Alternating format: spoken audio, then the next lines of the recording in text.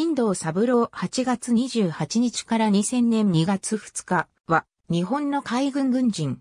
海兵60機。最終階級は、海軍少佐。1911年8月28日、神奈川県横須賀市で海軍機関大佐であった新藤と三郎の三男として生まれた。父親の転勤に伴い、小学校1年から広島県呉市で育った。父が1921年新設された航海軍交渉の総務部長に就任したため、飛行機が身近なものとなる。広島県立第一中学校4年の時、町でヤクザと喧嘩して相手に怪我を負わせて対抗処分となり、ストック中学に編入。1929年には海軍兵学校60期生として入学した。ロサンゼルスへの遠洋公開後、ナトリ、日向、イオン、両66の乗り組みを経て1934年11月に第26期飛行学生となった。同期には横山保、金子忠、鈴木実、山下正夫らがいた。1935年7月、大村海軍航空隊に転属し戦闘機、操縦過程、1936年11月空母、加賀乗組となった。衝撃を軽減するため髪を長く伸ばしていたが、街中を歩いていると、しばしば因縁をつけられることがあった。だが、自分が戦闘機搭乗員であることを明かすと、途端に相手の態度が変わったという。1937年7月7日、露光橋事件が勃発し、品事変が始まった。8月10日、香川、佐世保港を出港し、上海沖に進出。16日、観光艦爆隊の護衛戦闘機隊小隊長として、90艦船で出撃した。この偉人で、新藤は、ダグラス偵察機を共同撃墜した。12月、再起空軍隊長に就任。1938年6月、任海軍隊員。7月、13空軍隊長に就任。12月、大村空軍隊長に就任。1940年5月、12空軍隊長として観光に進出した。当時海軍航空隊は観光を拠点に中国国民政府が置かれていた重慶に爆撃を行っていた。しかし、航続距離の短い96艦船では同行することができず、中国軍航空隊による攻撃で日本爆撃隊の被害は大きかった。7月、予告で試作新型戦闘機12士艦船を受領し、観光で予告から赴任してきた横山保らと共に、完熟訓練及び初期不良の克服に努めた。7月24日、12士艦船は正式採用され零式艦上戦闘機と名付けられた。8月19日、横山、新道の指揮する零戦12機が重慶攻撃に初出撃したが、敵機は上空には現れず、さらにそれから2度の出撃でも快適しなかった。基地に戻ると、敵は光線を避け、去った後に大編隊を飛ばせて、日本軍機を追い払っているように見せているということが判明した。新道はこれを逆手に取り、翌日9月13日、新道が率いる零戦13機は、重慶爆撃の中高隊の護衛として、再び出撃し、ようやく敵機の大編隊と遭遇した。敵は中国空軍の精鋭である第4大隊、及び第3大隊率いる I-15I-16 計33機であった。戦闘機体は、これと交戦、うち27機を撃墜し、味方の非撃墜は0だった。振動自身も I-15 一機を撃墜。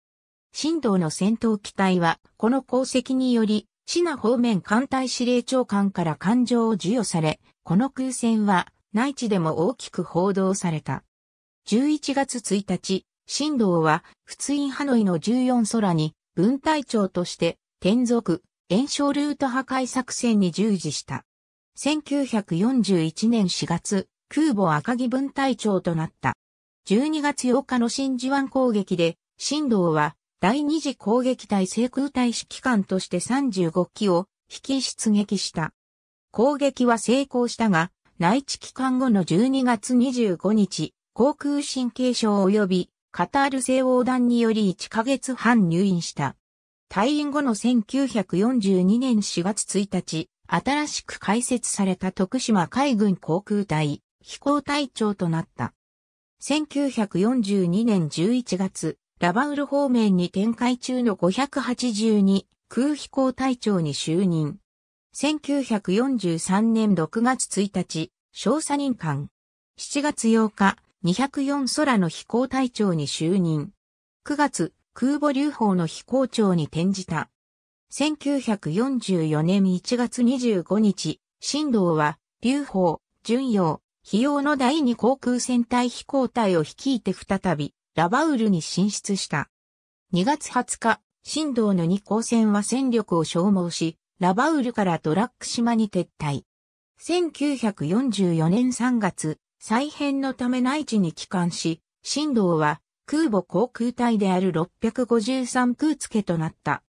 6月19日に発生したマリアナ沖海戦で、新道は千歳に上艦して戦闘機体の指揮を取ったが、出撃した攻撃隊はほとんど帰ってこなかった。